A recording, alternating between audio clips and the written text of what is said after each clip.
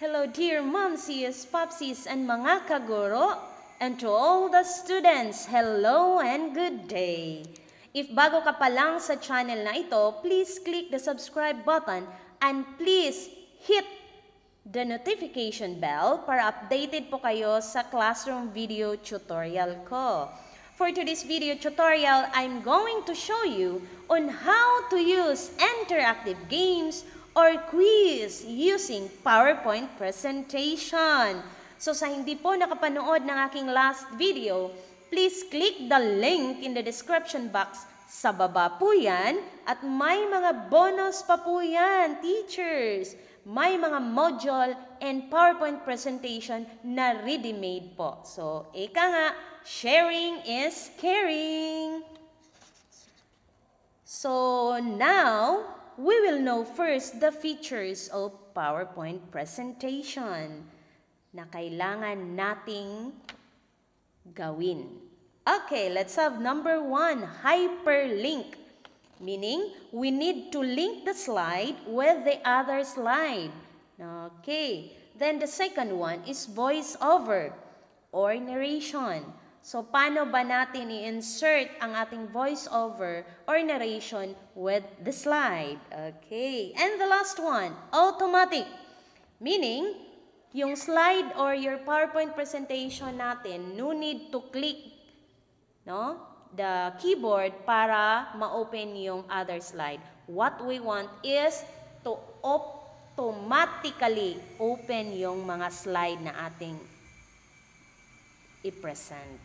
Okay, so these three features are needed in applying the PowerPoint presentation, of course, that we want in order for our online teaching to be more interactive. Ayan po, so are you excited? Okay? So, much better po if you will have your PowerPoint presentation open para makasunod po kayo sa ating classroom tutorial. No? Step by step po natin yan.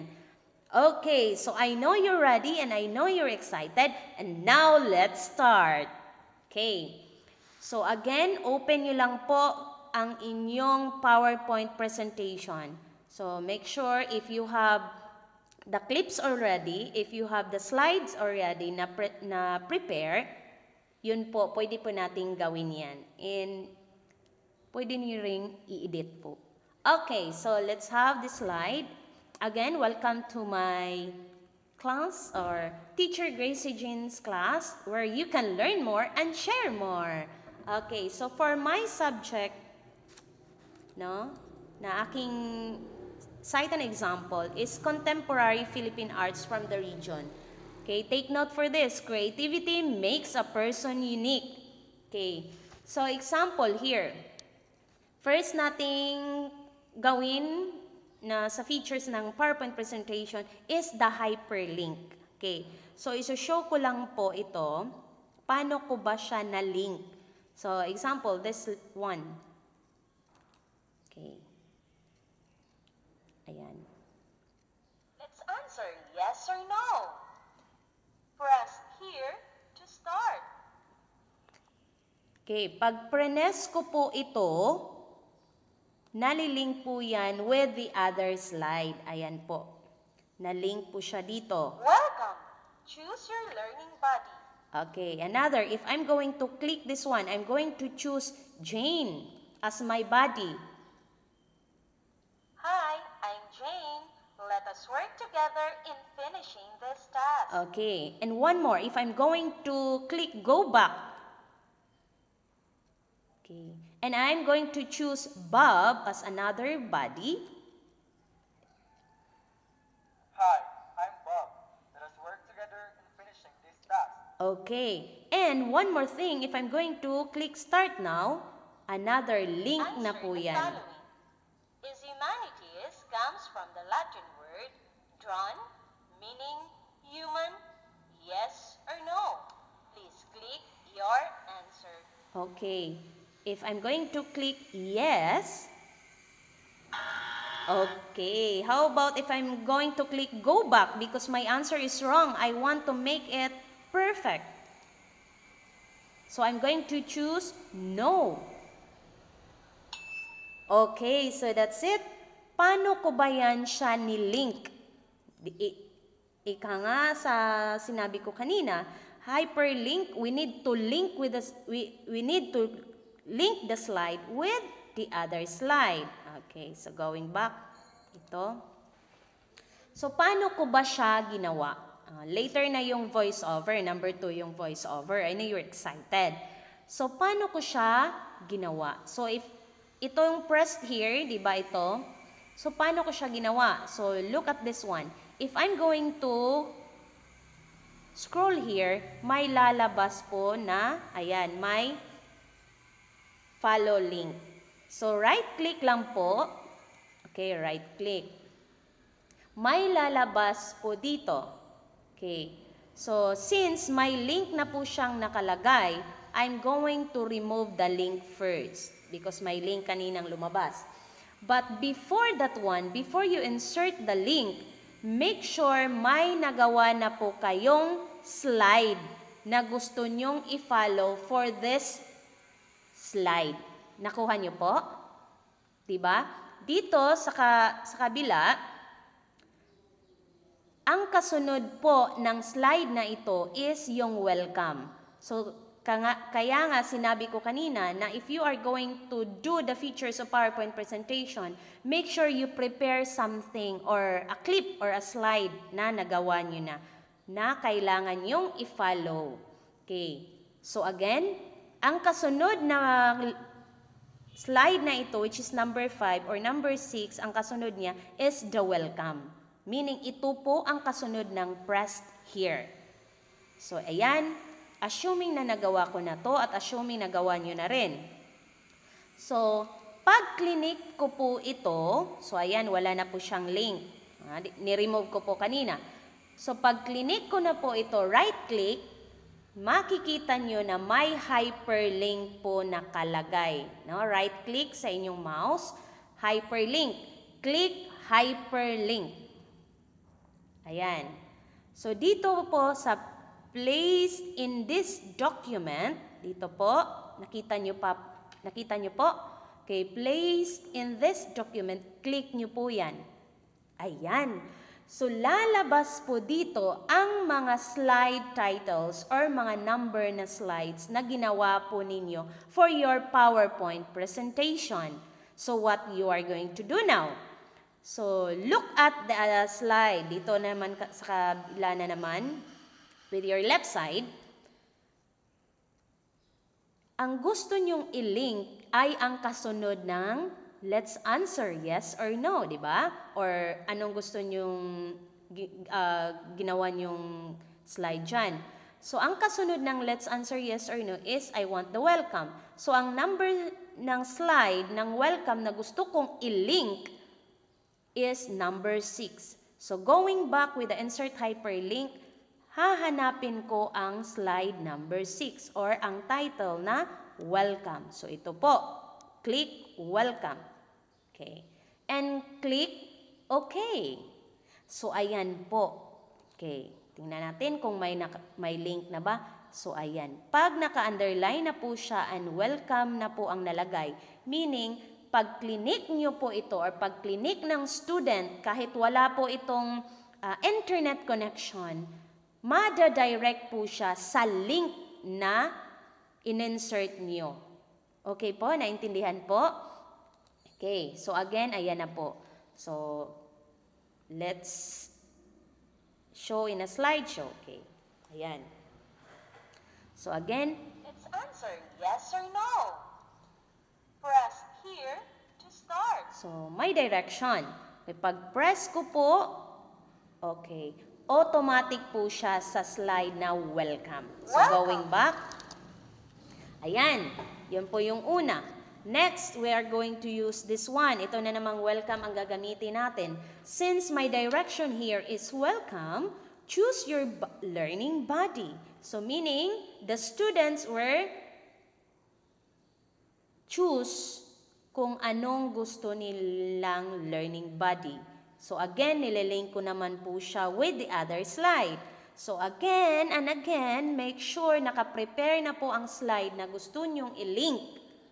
So, gumawa na po ako dito. Kunyari, ang bata, ah, choose niya si Jane. So, dapat may nakalink na po kayo or may nagawa na po kayong slide. And another here, so ginawa ko na rin po na paano kung ang bata ang ang ang choose niya is si Bob. So, meron na po akong nagawang ah, slide. So, going back with the welcome slide. So, garon, ganun din ang gagawin natin. You are going to click, right-click, and here, meron pa po yung link. So, i-erase ko muna, remove ko muna yung link. So, remove link. Okay, so wala na po siyang link. Okay, pag clinic nyo siya. Okay, wala na, wala na pong lalabas. And dito, di- dalawa ko na lang po ang nilagay. So, kasi paano pag clinic niya yung girl at pag clinic niya yung name. So, dapat meron na po tayong advance, no? Idea kung ano ang dapat na gawin ng student. We will need we need to put our shoes with their shoes also. Okay. So again, remove ko ang link dito. Okay. So ito wala na po siyang link. Okay. So again, ano po yung number one? Right click and hyperlink. Okay. So again, look at the left side. So, yung babae ang pinili, it's slide number 7. So, click slide 7. And then, okay. So, ayan. Let's see kung may link. Ayan, meron na po siyang lalabas na slide 7. And dito, pag click ko rin po ang hyperlink, another still, it's slide 7. So, slide 7, okay. So, ayan, pag clinic na po natin, meron na po siyang lalabas na slide 7. Okay? So, same process with here, no? Use the hyperlink and then follow the rule. Look at the slide in the left side kung anong number ang slide na gusto nyo i-link. So, again, let's play in the slideshow. Okay. Welcome. Choose your learning buddy. Okay, I'm going to choose Jane. Hi, I'm Jane. Let us work together in finishing this task. Okay, so going back. Okay. So may nagtanong na paano po yung go back?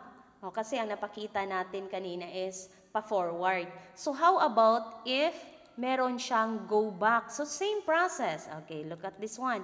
ba? May nakalink again. Pag pag nakita po ninyo ito, ito pag-click nyo at may lalabas dyan na welcome, meaning doon po siya babalik. Okay. So, I will remove the link. Okay, ayan, na-remove ko na. So, so right-click and click hyperlink. So, gusto ko siyang i-go back. Ah, So, dito ko siya gustong mag-back sa back ah, slide 6 or welcome. So, ayan po, ikiklik ko naman ang 6 or welcome. Dahil dun ko siya gusto bal- balikan eh. Dahil dun yung ah, direction. So, ayan. Dali lang. Okay.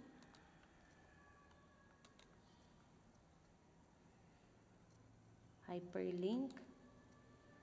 Okay, welcome. Ayan, may, may naano na. Sorry, sorry. Okay. So, plug clinic na po natin siya. Ayan na. Okay. Go back. Hi. Automatic po siya sa welcome. Okay? Welcome. That's it for our hyperlink, how to insert hyperlink. So again, right-click, okay, babalik lang po natin. Let's have a review on how to insert hyperlink. So right-click, okay, click hyperlink, dali lang, dito. Okay, click hyperlink and choose slide na makikita nyo sa right side ng mga slides kung anong gagamitin nyo na link. So again, we need to link the slide with the other slide and click OK. Okay, that's it for hyperlink. So now let's move to, I know, kanina kapay, ka, ko pa kayo na feel na you're very excited. So now let's use the voice over or narration. So ito, okay, yung narinig nyo kanina, di ba? So going back. Pag pinay ko yan, Let's answer yes or no. Press here to start.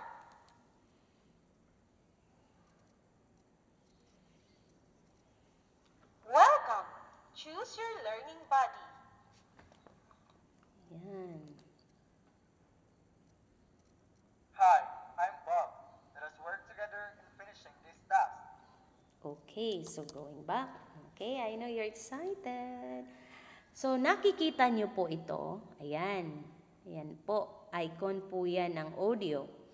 Okay. Yan, nakikita nyo po yan. And then dito, may audio din po yan. Ito, may audio yan.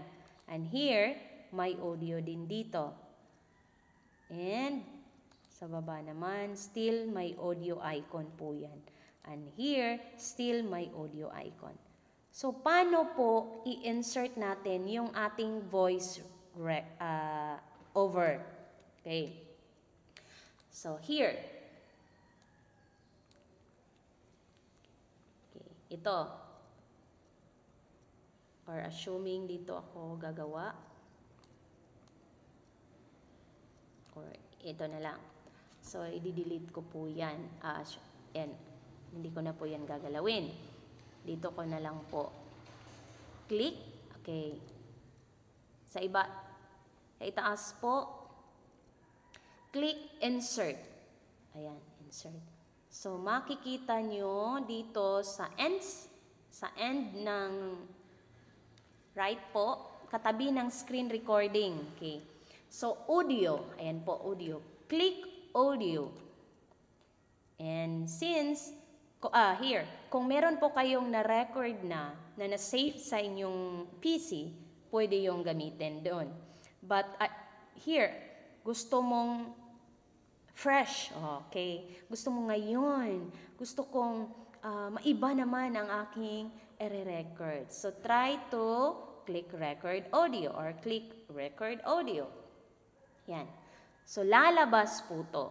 So, kung gusto nyong lagyan ng name ang record sound niyo, pwede. But for me, hindi na. Okay. So, ito po read dot. Pag ready na po kayong mag-record, pwede nyo siyang, ay i-click nyo siya agad-agad pag ready na. Pero pag hindi pa, ah, but don't worry, pwede nyo rin pong ma-delete. Okay? So, assuming, gagawa po ako. So, ayan. So, na-click ko na po yung red dot and nagre-record na po siya. Ayan po yung sound length niya, nagre-record na po yan. So, pag tapos na po kayo, okay, ayan, click the blue button, yung square po. Ayan, click that one to stop. And then click OK. Okay, so, kung gusto nyong pakinggan before nyo siya i-insert sa inyong slide, maaari po. Okay. So, ayan. So, ayan. So, na-click ko na po yung red dot and nagre-record na po siya. Ayan po yung sound length niya, nagre-record na po yan. So, pag tapos na po kayo, okay, ayan, click the blue button, yung square po. Ayan, click that one to stop. Okay. So now, gusto mong ah, i-trim. Okay. So here, dito po tayo. Okay. Try to look at the upper part. Okay. Click this one. I katabi po ng format, may nakalagay pong playback. Okay, playback. Click nyo po. Ayan. So dito, ito po, sa baba ng design. Ayan, nakita nyo po? Okay, click trim. Ayan. Okay, play ko lang ulit. So, ayan. So, na-click ko na po yung red dot. So, here, what if I want to trim or to crop na gusto kong dito lang ang voice na gusto ko. Okay. So, maaari nyo po yung i-drag side. So, meaning, pa, look at yung ano nyo, kailangang lens ang mata natin. Meron pong mga, ayan po, yung mga lines, ayan, ayan, dito po, ayan, zoom in yung mga mata ninyo. Okay. Pag nakakita po kayo na maraming mga ganin dito, meaning, doon po ang mga words na na-record. Pag plain lang po yung record, ay yung na-record, meaning wala po kayong, ah, hindi po kayo nag-start magsalita doon. So, how about gusto kong i-trim? So, ayan lang po, trim lang, trim lang kayo kung anong gusto nyo o saan nyo gusto. So, ayan. So, what out if... Sound length niya, nagre-record na po yan. Okay. So, ayan. Trim ko na naman. Gusto ko yung, yung So, ano. pag tapos na po kayo, Okay. okay. Ayan, click the, Okay. So, how about this one? Okay. Click. so pag tapos na po So, ayan kayo, lang po, ka-easy. Okay. So, if Ayan, okay na po click yan, the- click okay pag okay na. Okay. So, meaning, nandito na po siya. So, pag tapos na po kayo, okay. Ayan, click the, Okay. So, here, ayun po, yung voice narration natin. Okay na? Okay na tayo doon? Okay. So, how about, doon na po tayo sa number 3. Pwede na po? Okay. Doon tayo sa automatic. Okay. So, kanina, ma'am, or kanina, Teacher Gracie Jane, nakikita ko na automatic po siya lalabas. Okay. Here. Let's play the slideshow. let's answer yes or no. Press here to start. Okay. Di ba hindi nyo narinig yung ni-record natin? So, kailangan ko pa siyang i-click So, ng okay. tapos na po kayo, okay. Ayan, click the, Okay. So, meaning, hindi po siya automatic na lumabas ang ating voice over. So, kailangan ko pang i-click ang enter ng aking keypad para ma, o keyboard, para ma play yung voice over natin. So, how are we going to use the automatic para direct na po tayong ah, ma-insert yung ating, ma-play yung ating um, voiceover. So here, going back, okay, still at the playback, click playback. Now here, in this part, okay, yung sa start po, ito, nakita nyo po, dito sa start, drag down, this one. Okay, ayan. Click automatically. Okay, click automatically. Yan na po. Na-click na po siya. Okay, so going back to the slide. let's answer yes or no. Press here to start. So, pag tapos na po kayo, okay. Ayan, click the, So, hindi ko na po clinic ang enter ng aking keyboard. Meaning, automatic na po siya. After the, the record ng iba, yan, magpa-follow na po kung anong unang ni-record mo, tas pangalawa, tas pangatlo, and so on and so forth. So, automatic na po siya. Okay? Na-excite? Nakaka-excite po? So, ganun din po ang ginawa ko sa mga slides. Okay? So, how about teacher? Ito pong ginamit nyo. Okay, ito. Click ko siya.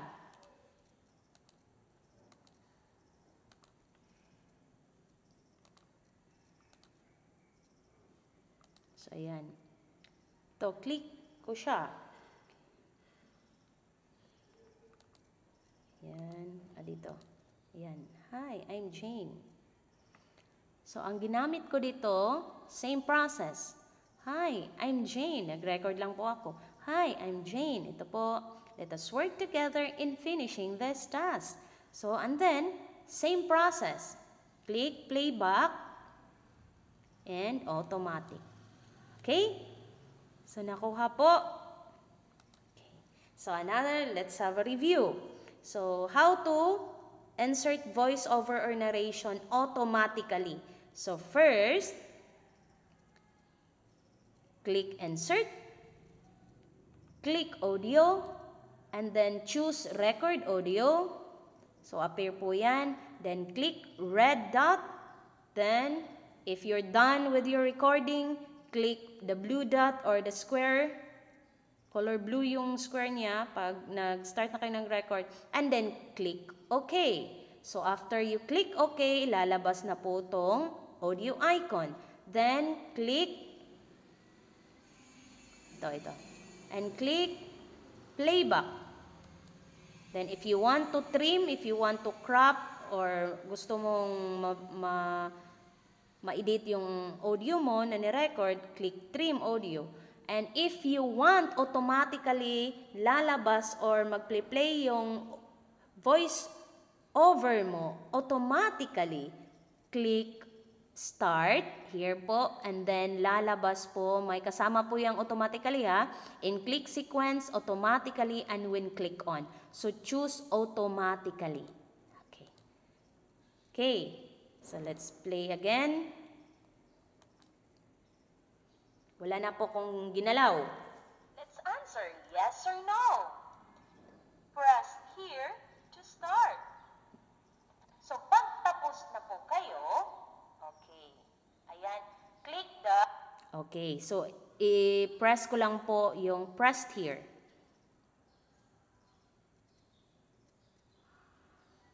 Welcome. Choose your learning buddy. Okay, I'm going to choose Jane. Hi, I'm Jane. Let us work together in finishing this task. Okay, I want to go back because I want to choose Bob. So I'm going to click Bob. Hi, I'm Bob. Let us work together in finishing this task. Okay. So that's it. Ayan po ang ating tatlong features na nagawa lang sa PowerPoint presentation. 'Di ba? Nakaka-amaze na kaya pala sa PowerPoint presentation siya gawin. So again, let's have hyperlink, video over narration, and automatic. So yun po ang nagawa natin for today's tutorial video.